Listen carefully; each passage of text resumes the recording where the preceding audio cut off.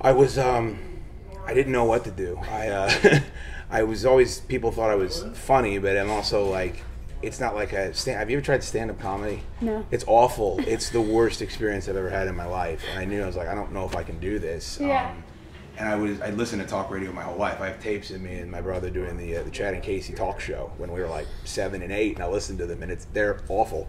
But uh, I always liked talk radio, but I always listened to these shows, and if you know you've heard these shows like Howard Stern and Don and Mike, and I was like, God, these guys are bigger than life. I can never do that. And then I heard a show called The Junkies, who are now the morning show on the station I work at. And they were four guys sitting around talking sports and TV and just having fun. And I said, God, maybe I can do this. So I went out to an appearance they had at a Mobil on the run in Sterling.